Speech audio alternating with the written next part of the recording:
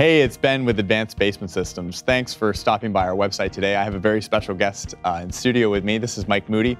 He's our certified radon professional. And uh, Mike's going to be doing some FAQs with us today about radon gas testing and radon gas mitigation. So, Mike, why don't you uh, start by telling us how long you've been with the company, how long you've been doing radon gas, and what exactly a certified radon professional even is? Well, Ben, I've been with the company uh, for eight years. Um, I've done radon for seven, got certified. I was originally US certified before Canada had certification.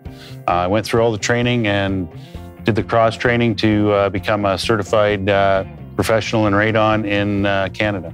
Okay, so why don't you clarify for us what exactly is radon gas? Well, radon gas is a natural occurring decay from uranium in the ground. And as it decays, it produces the radon gas. Right. And uh, it's a radon decay product in it that you inhale and ingest that can lead to symptoms of lung cancer and it's the second leading cause of lung cancer? Yes, it is the second leading cause of uh, lung cancer next to smoking. Okay, wow. Um, now, radon gas, you've explained what it is. How exactly does it get into our homes? It gets actually pulled into the house because of the natural stack effect that a, right. that a building will produce.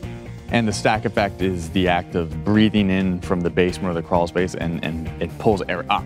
Yes, and we have a lot of people who will ask questions and say, How does this air get into my house? There is an outside air pressure on the ground outside all the time. Okay.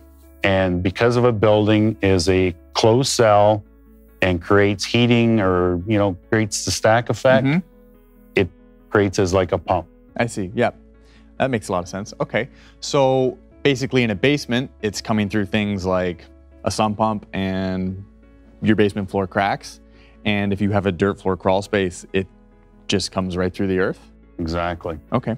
So if we have a basement um, and we want to find out that we have radon, uh, what's the best way to, to, to test for it? Um, Canada recommends a 90 day test during the heating season.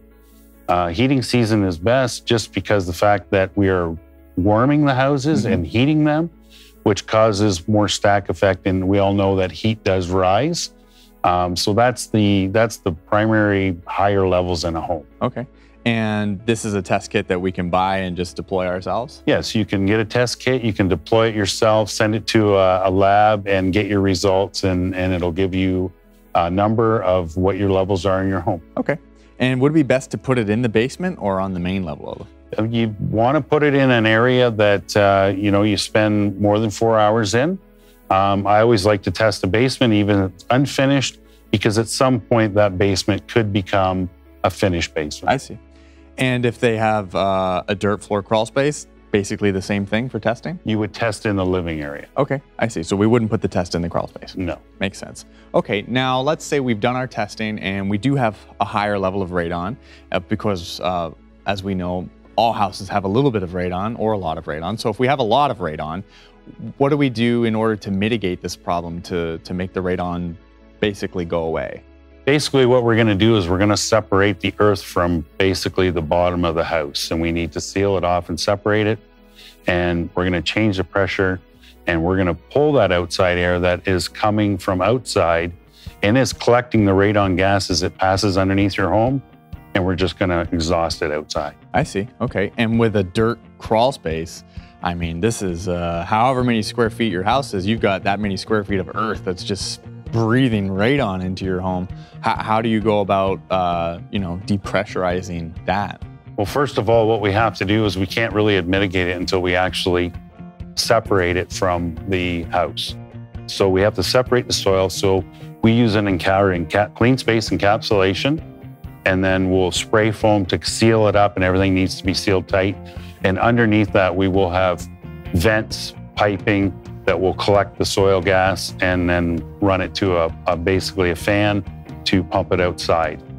Now, this all sounds like it could be very complicated, but of course, you know, in reality, I I've seen the work done. My parents have a radon mitigation system in their home, so I, I can speak firsthand and, and you can expand on that. It's, it's a very simple job. It's a very simple process. It is a very simple solution. And, uh, you know, I've, over seven years, I believe that almost um, every building now should be vented underneath. And no soil gases should enter our living space.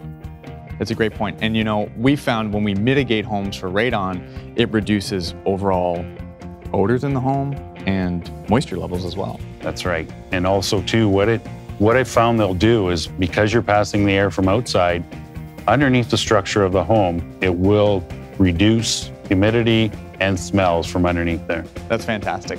Now, um, you had mentioned you were certified first on the American side of things and then later Canada. And Canada actually didn't have a program right off the hop. And we're still a little bit behind on the whole uh, leniency of how much radon is bad. Um, now, if you could talk to us, maybe some people have done their own testing already. Wh what is the, the number or the level that is acceptable? Canada has set theirs at 200 becquerels. Um, the United States is, you'll see it's four picocuries converted over to becquerels, which is a metric version. So you times it by 37 is 148.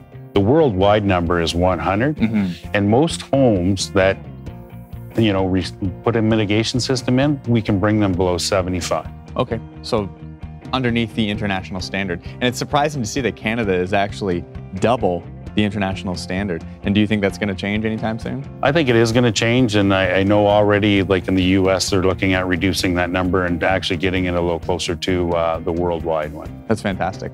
Well, if you have more questions, you can actually call our office toll free on the number anywhere you see on our website, and you can speak with Mike directly. He can answer your questions. If you'd like to purchase a test kit from us, which is the 90 day version Mike had spoke about, or if you'd like sooner results, we can deploy a 72 hour, uh, it's called a CRM, which is a continuous radon monitoring unit, and that only takes three days. We can do that for you too.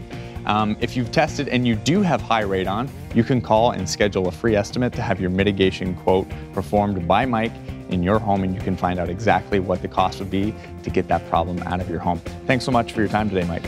Thank you, Ben.